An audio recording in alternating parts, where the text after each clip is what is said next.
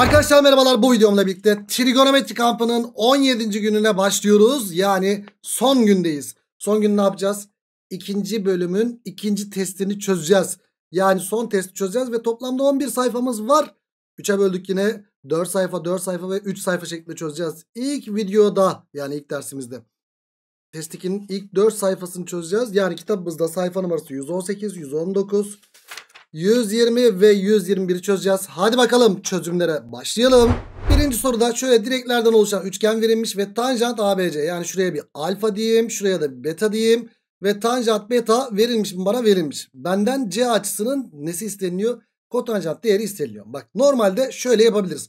Hocam bu açının tanjantı ve bu açının tanjantı olduğu için şuradan bir dik üçgen çizip de tanjantları yazabiliriz. Yalnız burada dikkat et yazdıktan sonra şu açı artı şu açı sonra da e, kotanjant alfa artı beta değil de x artı y formülünden bulabilirsin. Birinci yol bu. Ama burada dikkat etmen gereken bir şey var.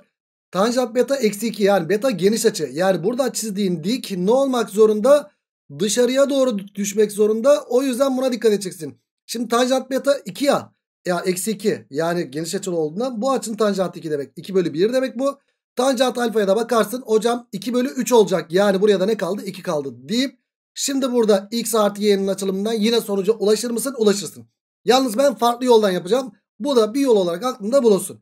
Peki nasıl bir yolla yapacağız şimdi bunu? Bak şimdi dikkat. Şimdi biz buraya alfa ve buraya beta dedik ya. Dedik. Buradaki açı ne? Şuradaki açı hocam 180 eksi alfa eksi beta diye mi? Yani 180 eksi alfa artı beta diye mi? Aynen öyle. Benden ne isteniyor? Kotanjant 180 eksi alfa artı beta isteniyor. Biz 180 ekleyip çıkarttığımızda fonksiyon isim değişiyordu. Ya da 180'e tamamlayanlarda ne oluyordu arkadaşlar? Ya da direkt şöyle diyebilirsiniz. Alfa beta şuraya da teta deyip hani 180 eksi alfa ile uğraşma bence. Hocam şuraya teta deyip hani alfa artı beta artı teta eşittir 180 ya. E hocam alfa artı beta'nın 180'e tamamlayanı teta. O zaman 180'e tamamlayanı teta ise bizden ne isteniyor o zaman? Şu kotanjant teta isteniyor. Teta'nın 180'e tamamlayanı alfa artı beta olduğu için bu eksi kotanjant neye eşittir? Alfa artı beta'ya eşittir. 180'e tamamlamada eksi oluyor. Yani benden bu isteniyor. Ama biz tanjant alfa artı beta'nın açılımını bildiğimiz için onu kullanalım. Sonra eksilisini alırız. Cevaba da ulaşırız. Tamam. Hadi bakalım tanjant alfa artı beta'yı yazalım arkadaşlar. Tanjant alfa artı tanjant beta. Yani tanjant alfa 2 bölü 3 artı tanjant beta. Yani eksi 2 bölü 1 eksi çarpımları. Yani 4 bölü 3 mü yaptı? Evet ama eksi 4 bölü 3 burada da artı mı gelecek? Aynen öyle. Şimdi 2 bölü 3 eksi 2 yaptı burası. 3 kere 2 eksi 6. Ee, 2 eksi 6 eksi 4. Eksi 4 bölü 3 bölü bu da 7 bölü 3 yapar. Bölü 3'ler sadeleşti. Cevabımız eksi 4 bölü 7 yaptı. Yalnız tanjant alfa artı beta eksi 4 bölü 7 yaptı. O zaman kotanjant alfa artı beta ne yapmak zorunda? Tersi yapacaktır. Eksi 7 bölü 4 yapacaktır. A benden ne isteniyor? Benden kotanjant bu açı isteniyor. Hatta eksi kotanjant alfa artı beta isteniyor. Kotanjant alfa artı beta eksi 7 bölü 4 ise o zaman cevabımız artı 7 bölü 4 yapacaktır. Çünkü bunun eksilisi bunun da eksilisi olacak. Artı yapıyor cevap. Evet birinci soruyu böylelikle denizli bulduk. Geldik ikinci soruya. Cos x artı sin y sin x artı cos y verilmiş. Böyle toplamlar verince ne yapıyorduk biz? Karelerini alıyorduk. Her iki tarafın karesini alalım bakalım. Burada da alalım ve burada da alalım. Alt alta yazalım sonra. Arkadaş burada aldık alacak olursak cos kare x artı 2 kosinüs x çarpı sinüs y artı sin kare y eşittir 16 bölü 25 yapar. Hocam alt tarafta sin kare x artı 2 sinüs x çarpı kosinüs y artı cos kare y eşittir 9 bölü 25 yapar. Taraf tarafa toplarsam ne geliyor? Hocam cos kare artı sin kare x 1. Sin kare y artı cos kare y 1. Toplamda 2 mi yaptı? Evet. Artı şurada şu ikisini de iki parantezini alırsam içerisi cos sin sin cos. Yani sin cos artı sin cos sinüs x artı y'nin açılımı olmadı mı arkadaşım bu? Evet. Yani bu da 2 çarpı sinüs x artı y. Şunları toplarsam ne geliyor? 25 bölü 25'ten 1 geldi. Bunu attık öbür tarafa. 2 sinüs x artı y eşittir eksi 1 yapar. Ve sinüs x artı y'yi de buradan kaç buluruz arkadaşım? Eksi 1 bölü 2 olarak buluruz. Şimdi benden ne isteniyor? Şu art tanjantlı ifade. Her iki tarafın tanjantını alırsam tanjant x artı y neye eşitmiş arkadaşlar? A'ya mı eşitmiş? Evet tanjant x artı y isteniyor bizden. Arkadaş sinüs x artı y. Yani bu kaçıncı bölgede o zaman? Üçüncü bölgede değil mi eksiliyse? Ya üçüncü ya dördüncü bölgede. X artı y'lik bir dik üçgen çizelim. Burası x artı y ise o zaman hocam x artı y 1 bölü 2 mu olacak? 1 bölü 2. 1 2 burası da kök 3 olacak. Bizden ne isteniyor? Tanjant x artı y isteniyor. Hocam tanjant x artı y de karşı bölü komşu 1 bölü kök 3 yapar. Yalnız bu 3. bölgede olduğu için değil mi? Şimdi şu eksili olduğu için 3. bölgede 3. bölgede tanjant değeri nedir? Artıdır. O yüzden cevabımız Akçay yaptı ikinci soruda. Geldik 3'e. Evet. Aşağıda dikdörtgen biçimdeki alt, atlı spor kulübünün bahçesinde hayvan görünümü verilmiştir. Şimdi şurası 64 verilmiş ve metre verilmiş. Altların bakıldığı yer bir kareymiş. Karenin alanı 64 ise bir kenar kaç çıkar o zaman? 8 mi çıkar? Evet. Sonra buradan başlayıp su içmeye gidiyorlarmış böyle. Bahçenin çevresinde 88 verilmiş. Tamam. ED'yi de 16 vermiş. Arkadaş şurası 16 8 daha kaç? 24. 24 24 48. E, buraya ben x dersem e, 24 artı x'in 2 katı ya da 24 artı x'in 2 katı eşittir kaç? 88 verilmiş. Sadeleştir 44. O zaman x'i de böylelikle kaç buluruz? 20 buluruz. x 20 ise buraya ne kaldı? 12 kaldı. Şimdi benden ne isteniyor? Sekant DKE. Yani şuradaki açının sekant değeri isteniyor. Yani 1 bölü kosinüsü isteniyor arkadaşlar. Arkadaş hadi bakalım bulmaya çalışalım. Ne yapalım burada? Şimdi burada bir dik yamuk falan filan var ya. Buradaki dik yamuğu kullanalım. Şurada bir dik üçgen oluşturalım. Ee, arkadaşlar normalde nasıl yapabiliriz? Şuradan direkt dik çizip de A deyip B deyip tanjant artı B'nin açılımından yapılabilir aslında. Ama şuradan bir dik çizelim bakalım. 12 ise burası 12 yapar. 8 ise burası 8 yapar. Buraya kaç kaldı o zaman? Buraya 16 kaldı. 12 16 20 üçgeni. Hocam 8 16 burası 8 kök 5. Aa burası 20. Aa burası da 20 çıktı. Hiç şöyle yapıp da tanjant artı B'den ulaşmaya çalışmayayım ben. Direkt benden ne isteniyor? Buradaki açının şey isteniyor. Sekantı isteniyor. Yani o açıya ait dik üçgen lazım bana. Hocam o açıya ait dik üçgen hop şöyle dik çizerek oluşur. Zaten ki bu ikizkenar üçgen oldu. İkizkenarda çizilen yükseklik tabanı iki parçaya böler. 4 kök 5 4 kök 5 diye böldü. Hocam bu açının değerini bulabiliriz. Benden sekant. Sekant alfa isteniyor. O da 1 bölü kosinüs alfadır. O da 1 bölü kosinüs alfaya bakalım. Kosinüs alfa komşu bölü hipotenüs. Yani 4 kök 5 bölü 20. 4 kök 5 bölü 20 yapar. Sadeleştir sadeleştir. Burası 5 yaptı. Yani 5 bölü ters çevirip çarptığım zaman 5, 5 bölü kök 5 yapar. Bu da ne yapıyor arkadaşlar? Kök 5 eşleniyle çarparsam 5 kök 5 bölü 5 yapar. Yani cevap kök 5 oldu. Yani cevap Ceyhan oldu. Üçüncü soruda. Bu arada tanjant artı B'den de yapılabilirdi. Ya da kosinüs artı B, sinüs artı B ama biz şekil sorularını genelde artı B'den seviyoruz. Ama yapmaya gerek kaldı mı? Geometrik şekil olarak x kenar çıktığı için bu şekilde daha kolay oldu. Evet üçüncü soru. Ceyhan geldik dörde. Arkadaşlar ark gördüğümüz yere şu ark tanjant yalnız. Ark tanjant şu. Ark tanjant x'e şöyle bir a diyelim. Her iki tanjantını alalım. x eşittir tanjant a mı oldu? Evet. Şimdi bu ne demek? Sinüs pi bölü 2 artı a demek. Bölü. Bu da o burası kaç? Eksi 90. Aslında eksi 90 esas ölçüsünü bulurken 360 ekle 270 mi yapıyor? Bu 270 de diyebiliriz arkadaşım. Yani bu da tanjant 3 pi bölü 2 eksi 2a'ya mı eşit oldu arkadaşım? Evet şurası da 2a onu da yazmayı unutmayalım. Tamam. Arkadaş bu neye eşit olur? İçindeki 90 attığımız zaman fonksiyon ismini değiştiriyordu. Kosinüs oldu. Ve şöyle düşünelim. Bu 90 ikinci bölgeye düştü. Sinüs ikinci bölgede arttı değil mi? Evet sinüs artı olduğu için işareti artı olacak. Kosinüs 2a'ya eşit oldu bu. Bölü tanjant bu da. Arkadaş tanjant 3 pi bölü 2 atınca ne oluyordu? E, fonksiyon isim değiştiriyordu. O zaman burası kotanjant 2a'ya eşit olacak. Yalnız dikkat. 3 pi bölü 2'den ne çıkartacağım? Açı çıkartacağım. Açı çıkarttığım zaman bu bölgeye düşüyor. Bu bölgede tanjant değeri de arttı, arttı değil mi? Evet. O zaman artık kotanjant 2a oldu mu burası? Oldu. Şimdi dikkat dikkat. Burası kosinüs 2a bölü kosinüs 2a bölü kotanjant 2a'yı yazıyorum. Sinüs 2a yaptı. Şunlar şunlar sadeleşti. Ters yapıp çarptığım zaman cevap sinüs 2a'ya eşit oldu. Şimdi ben ne biliyorum arkadaşlar? Tanjant a'yı biliyorum. O zaman dik üçgeni çizeyim. Tanjant a dediğimiz x değil mi? x bölü 1. Ee, karekök içinde burası da 1 artı x kare mi yapar? Evet. Sinüs 2a ile eşittir? 2 sinüs a çarpı kosinüs a'ya eşittir. Yani 2 çarpı sinüs. Sinüs a dediğimiz nedir? x bölü karekök içinde 1 artı x kare çarpı kosinüs a dediğimiz 1 bölü karekök içinde 1 artı x kare yapar. E yukarısı 2x yaptı aşağısı kökle köklü çarpımı 1 artı x kare oldu. Aynen öyle o zaman cevap Akçay oldu dördüncü soruda. Geldik 5'e. Evet böyle bir şey verilmiş. Arkadaşlar bu birim çember mi? Evet 1 burası. E buranın ben kosinüs alfa komşusunun kosinüs alfa karşısında sinüs alfa olduğunu biliyorum. Şimdi bakıyoruz. AO yani 1 artı BO artı kosinüs alfa bölü AB uzunluğu. AB uzunluğu da sinüs alfa bize ne verilmiş arkadaşlar? Tanjant 70 verilmiş. Ya ben burada hiçbir şey yapamıyorum. Payda eşitleyemiyorum onu yapamıyorum bunu yapamıyorum. Biri yok etmem lazım. Bir nerede yok oluyor? Bir yarım açıda yok oluyor. Kosinüsün yarım açı formülünde. O zaman bak 2 alfa olsaydı belki aklınıza gelebilirdi. Alfa var burada. O zaman yarım açı gelsin aklımıza. Yani eksi birli açılımı yapacağım. Bu nedir? 2 kos kare alfa bölü 2 eksi 1 değil midir? Evet. Eksi 1 artı 1 gitti yukarısı. 2 kos kare alfa bölü 2 yaptı. Madem yukarıda yarım açıyı kullandım aşağıda da yarım açıyı kullanayım. Bu da 2 sinüs alfa bölü 2 çarpı kosinüs alfa bölü 2 değil midir? Evet bu tanjant 70'e eşitmiş. Bak şimdi ikiler nanay.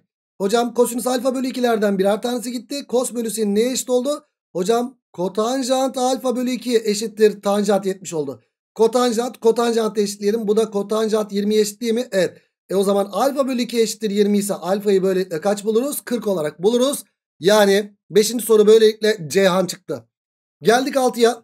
Kosinüs 2x'li bir şey var burada ama 3 tane açılım var. Hangisini kullanacağız? O zaman öncelikli olarak bir şuna bakayım. Arkadaş eksi sek kare demek ne demek? 1 bölü kos kare demek değil midir? Evet. 1 bölü c kare eksi. Sonra burada ne var? Tan kare. S kare bölü C kare var. Şimdi burada şurası artı olacak. Burası eksi olacak değil mi? Hmm. Şu eksi 1 artı S kare geldi. Bölü C kare yaptı. Bak şimdi. Eksi 1 artı S kare. Düşün. Düşün düşün. C kare artı S karenin 1 olduğunu biliyorsun sen. Eksi 1 artı S kare yerine ne yazabilsin? Bunu buraya atarsın. Eksi 1 artı S kare eşittir. Eksi C kareye eşit olur. O zaman burası ne oldu? Eksi C kare oldu. Eksi C kare eşit olduysa C kareler gitti.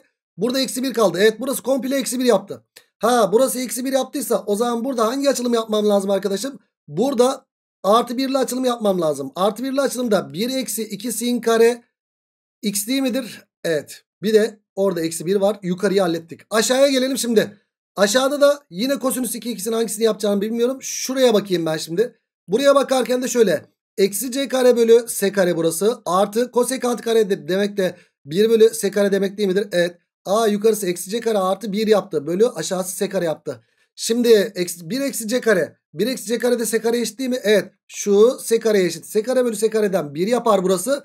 O zaman burası komple 1 yaptı. Artı 1 yaptı dikkat edin. O zaman eksi 1'li açılımı kullanmam lazım. 2c kare eksi 1'i kullandım burada. Artı 1 de burada mı var? Evet şu eksi 1 ile artı 1 gitti. Bunlar da gitti. Yukarısı 2 eksi 2 sin kare x bölü aşağısı da 2 cos kare x yaptı. Şunlar şunlar gidince hocam ne yaptı? Sin bölü cos tanjant. Eksi tanjant kare x'e eşit oldu. Yani cevap Akçay oldu 6. soruda. Geldik 7'ye. Evet uzunluklar verilmiş. DC uzunluğu 4, BC uzunluğu 8, AB uzunluğu 10 ve dik verilmiş burası. Dik yamuk verilmiş. Benden kosinüs ADC isteniyor. ADC açısının kosinüsü isteniyor.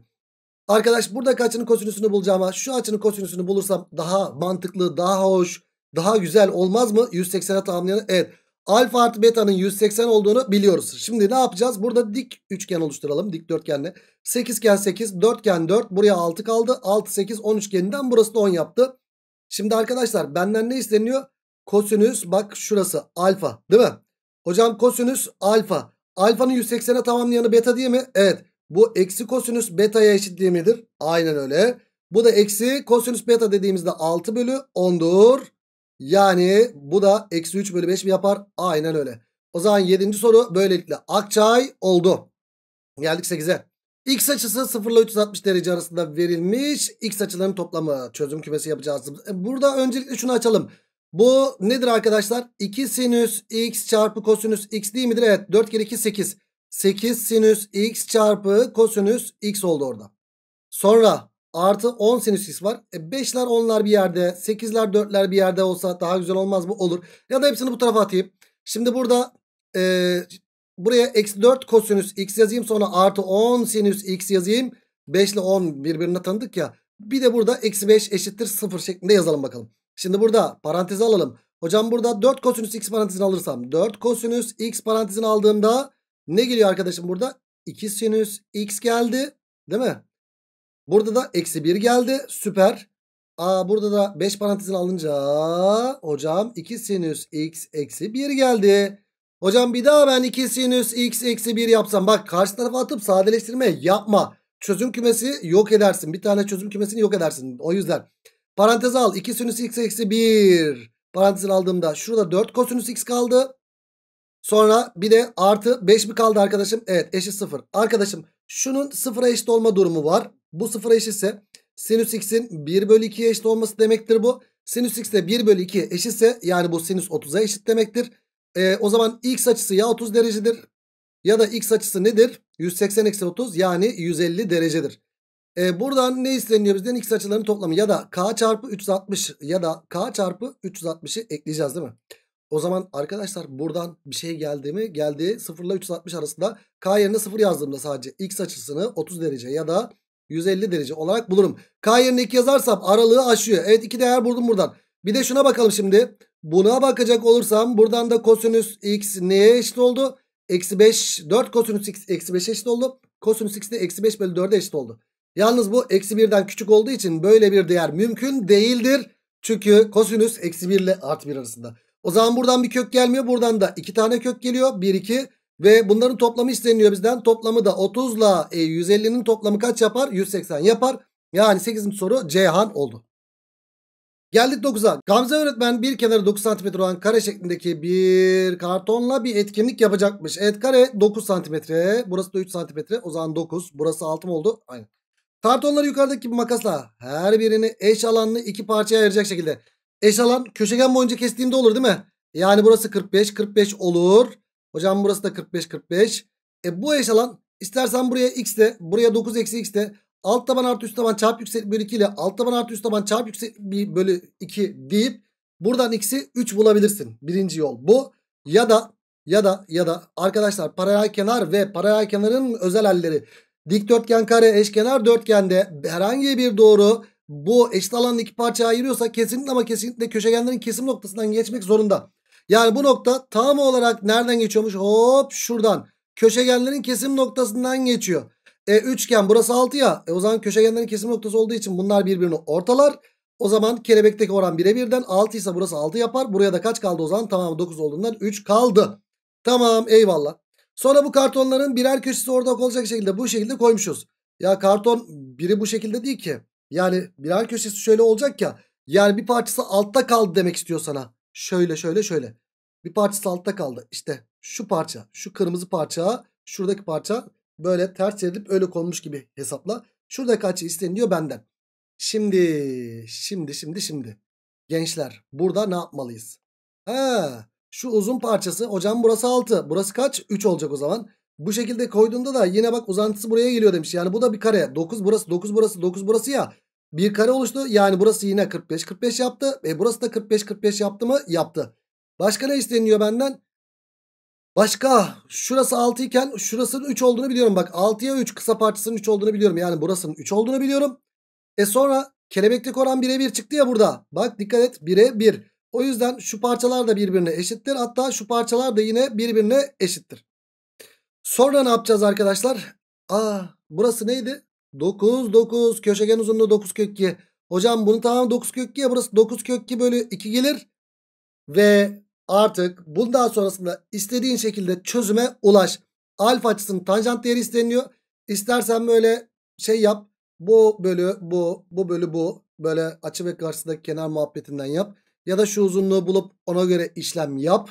O uzunluk da bulunabilir. Bu arada e, nereden bulunabilir? Şuradan dik çizerek 3 3 9 3 kök 10 çıkar falan filan. Ya da burada 45 derece var mı? Var. 45'in mantığını kullan kardeşim. Şöyle çek bir 90 derece. E, 90'ın karşısı 3 ise burası 3 bölü kök 2 yapar. E, 3 bölü kök 2 de ne yapar? 3 kök 2 bölü 2 yapar. Evet. Burası 3 kök 2 bölü 2 yaptı. 9 kök 2 bölü 2'den 3 kök 2 bölü 2 çıkartırsan 6 kök 2 bölü 2'den 3 kök 2 yapar burası. E 45 45 90 üçgeninden burası da 3 kök 2 bölü 2 yaptı. Şimdi benden ne isteniyor? Alfa açısının tanjant değeri. Bu açının tanjant değeri şuraya beta dersem alfa ile beta'nın toplamı kaç? 180 ya. Arkadaş tanjant alfa neye eşittir? Eksi tanjant beta eşittir. Yani 180'e tamamlayanın eksilisine eşittir. Tanjant beta da nedir buradan? 3 kök 2 bölü 2 bölü 3 kök 2. Yani eksi 3 kök 2 bölü 2 bölü 3 kök 2 o da eksi 1 bölü 2 yapar.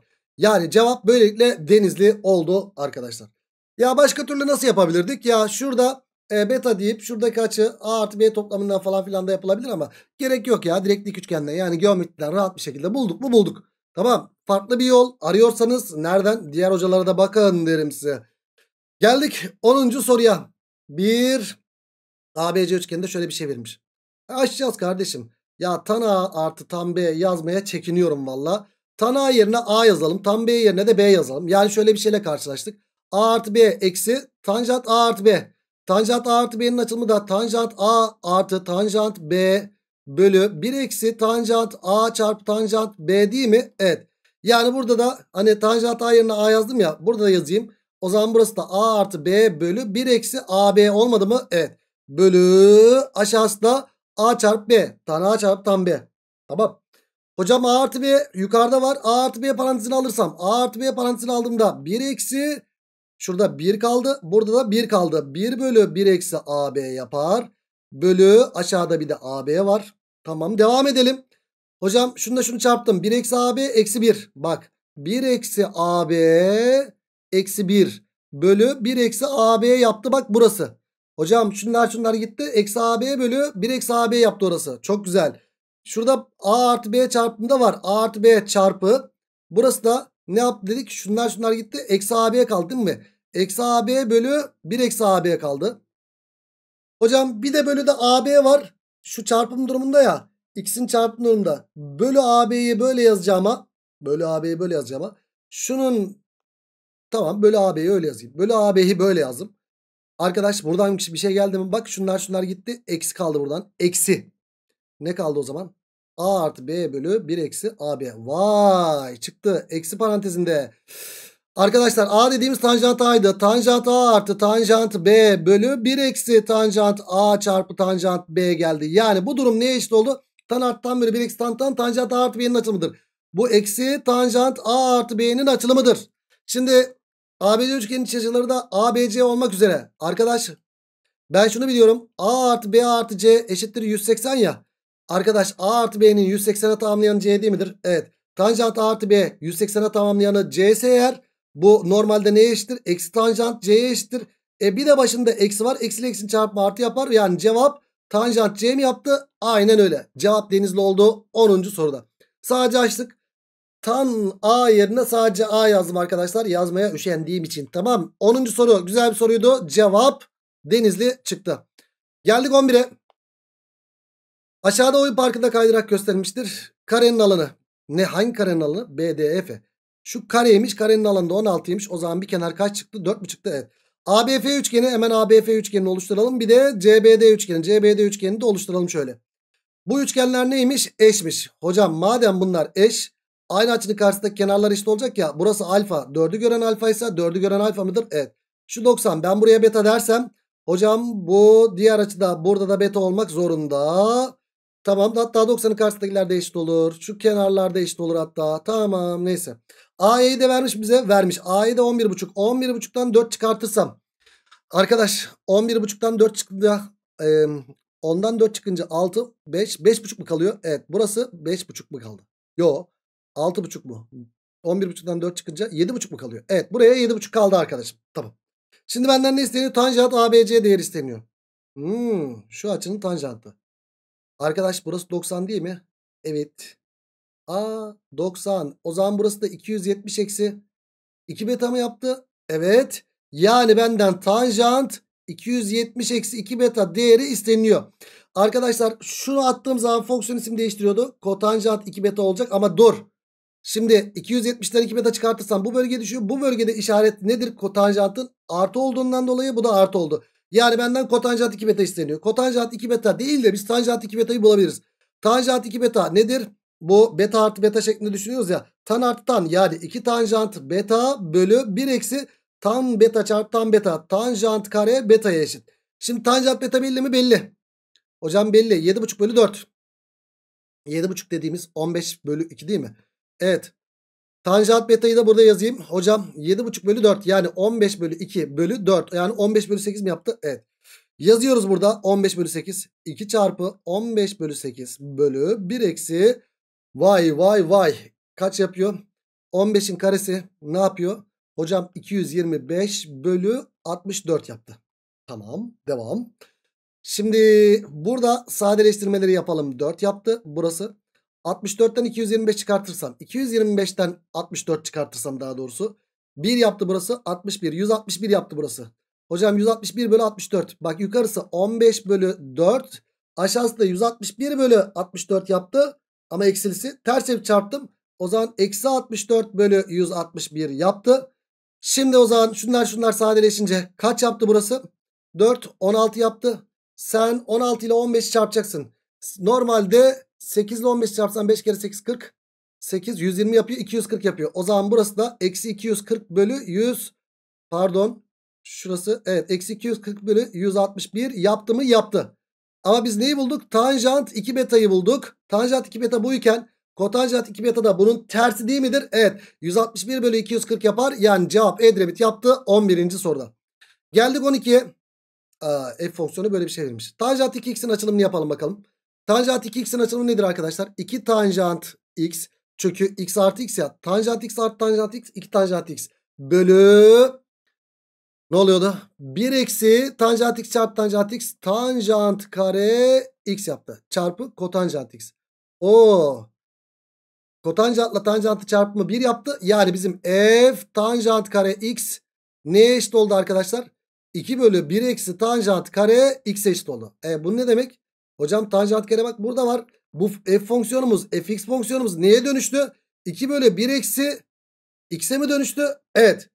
Şimdi ne yapacağız arkadaşlar?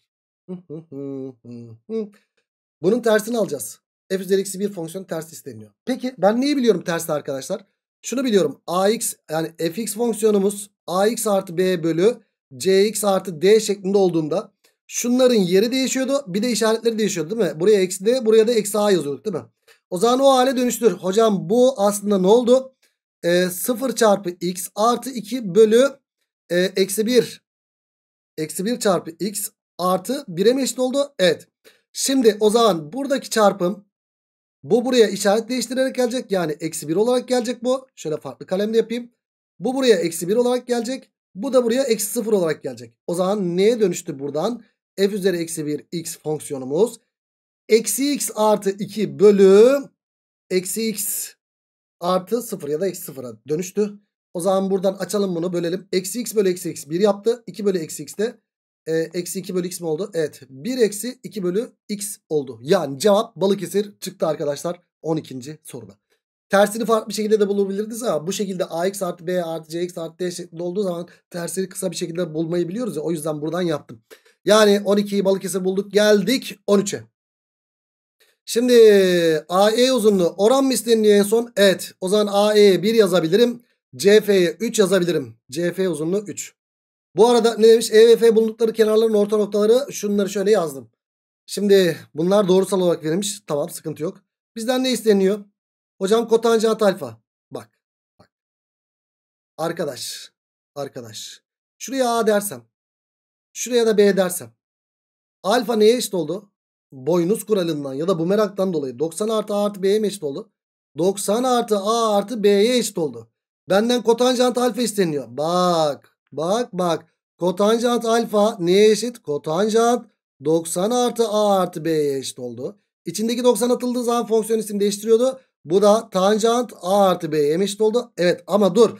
90 açı eklersen buraya düşüyor. Burada kotanjant değeri eksi olduğu için bunun işaretinin eksi olması lazım. Eksi tanjant A artı B değeri isteniyor bizden.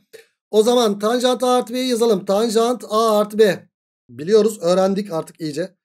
Direkt yazıyorum. Hocam tanjant A tanjant B. Tanjant A belli mi belli. 3 bölü 2. Hocam 3 bölü 2 artı tanjant B belli mi belli. 1 bölü 6. 1 bölü 6 bölü 1 eksi çarpımları. 3 ile bu sadeleşince o zaman ne yaptı? Yani 3 bölü 12 yaptı. 1 bölü 4 yaptı burası. 3 ile genişlettim. 9 artı 1 10 bölü 6 yaptı yukarısı. Bölü aşağısı da 3 bölü 4 yapar. E o zaman burası 5 bölü 4 yukarısı çarpı ters çevirip çarptım 4 bölü 3 yaptı. Şunlar şunlar gitti. Cevap 5 bölü 3 yaptı. Ama cevap 5 bölü 3 yaptı. Yaptı yaptı ama yaptı yaptı ama şu 5 ay burası sadeleşmemiş ya. İşlem hatası yaptım. Cevabı bulamıyorum. Oyalıyorum. 10 bölü 6 5 bölü 3 değil mi kardeşim? Evet 5 bölü 3. E, ters çevirip çarptım 4 bölü 3. Yani burası 20 bölü 9 yaptı. A benden eksi tanjant A artı B isteniyor. Tanjant A artı B 20 bölü 9 ise cevap da eksi 20 bölü 9'dur. Yani cevap 13. soru Denizli çıkar. Geldik 14'e.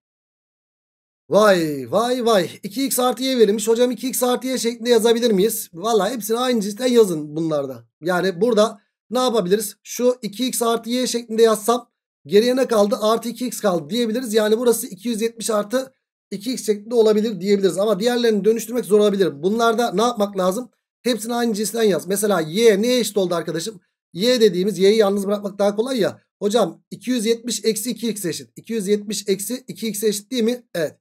Bence buradan gidelim. Y yerine ben 270 eksi 2x yazarsam o zaman burası 4x artı 270 eksi 2x yani 2x artı burası kotanjant 270 artı 2x yapar. Tamam. Artı. Y yerine 270 eksi 2x yazarsam o zaman burası ne yaptı arkadaşım? 540 eksi 2x yaptı. O zaman burası da kosinüs 540 540 Eksi 2x artı x eksi x mi oldu? Evet. Esas ölçüsünü bul. Esas ölçüsünü. Ee, 360 çıkarsak kaç yapıyor? 180 mi yapıyor? Evet. Bunun da esas ölçüsü 180. Yani 180 eksi x diye düşünebilirsin. Bölü sinüs x eksi y. Ya y yerine ne yazıyoruz? 270 eksi x yazıyorum. Hocam x eksi 270 eksi x. O da ne yapıyor? Eksi ile eksi artı yapıyor. 2x. Ee, 2x eksi 270 mi yapıyor? Yani burası da sinüs 2x eksi 270 yaptı. Artı y yerine de ne yazıyorduk? 270 eksi 2x yani kotanjant 270 eksi 2x'i yazdım. Şimdi indirgeme yapacağız burada arkadaşlar. Hadi bakalım yapalım. Hocam içindeki 270 kaybolunca fonksiyon isim değiştiriyordu. O zaman burası ne olacak? Tanjant 2x olacak. Dur. Şimdi düşün. 270'e bir açı eklediğinde burada. Buradaki kotanjant işareti eksi. O zaman bunun işareti eksi olmak zorunda. Devam edelim. Yukarısı 180 fonksiyon isim değiştirmez. Yani kosinüs x olacak. 180 eksi x'te. Yalnız 180'den x çıkartırsam burada burada kosinüsün işareti eksi. O zaman burası da eksi oldu mu? Oldu. İşaret eksi. Böyle aşağısı. Fonksiyon isim değiştirecek. Ya açıdan şeyi çıkart hiç fark etmez. İster açıdan e, açıdan sayıyı çıkart. İstersen sayıdan açı çıkart fark etmez. Peki 2x açısından sen 270 çıkartırsan bu açı burada ya 2 3 tane 70 çıkartırsam bu bölgeye düşecek. Bu bölgede sinüsün işareti artı. O zaman artı olduğu için burada fonksiyon isim değiştirecek. Kosinüs x olur burası. Buraya geldim şimdi. Hocam fonksiyon isim değiştirdi. Tanjant 2x yapar burası da. E, tanjant 2x olduysa burası. Kotanjant 270 eksi 2x. 270'ten 2x çıkartırsam buraya geliyor. Fonksiyon işareti artı yapar. Artı. O tanjant 2x artı kosinüs x. Eksi parantezini alınca tanjant 2x artı kosinüs x geliyor. Bunlar bunlar sadeleşti. Eksi 1 kaldı. Yani cevap böylelikle Balıkesir yaptı. 14. soruda. Geldik 15'e. Aşağıda ön yüzü mavi arka yüzü sarı olan ABC üçgeni biçimindeki renkli kağıt verilmiştir. Şuradaki açı alfa iken BAH 2 alfa verilmiş. Eyvallah. Şimdi verilen AH üçgeni AH boyunca katlandı. C noktası BC'nin üstünde oluyormuş. Arkadaş sen bunu böyle katladığın zaman C noktası buraya gelecekmiş. Tamam. Senin C noktası buraya geldiyse eğer bak senin C noktası buraya geldiyse C üssü olarak katladığın üçgen böyle olacak ya. Hop bu buraya geldi. Şimdi katlamalarda bu buraya geldi. Üst üste binen kenarlar eşit. Hocam şu kenarla şu kenar eşit. Üst üste binen kenarlar eşit. 4 ise 4 hatta buraya 5 kalır. Üst üste binen açılar da eşit olacak ya. O zaman burası da alfa mı olur? Alfa ise alfa. A 2 alfaydı. Burası da alfa oldu. Ana şurada açı ortay çıktı. Süper. Hocam 4'e 5 oran var. O zaman burası 4K ise burası 5K'dır. Pisagor bağıntısından 3 4 5 üçgeni değil midir? 4K 5K. Yani burası 3K olmak zorunda. 3K 9 eşitse K'yı 3 buluruz. Burası 15 olur. Burası da 12 olur mu? Olur. Benden ne isteniyor? Kosinüs BAH. BAH.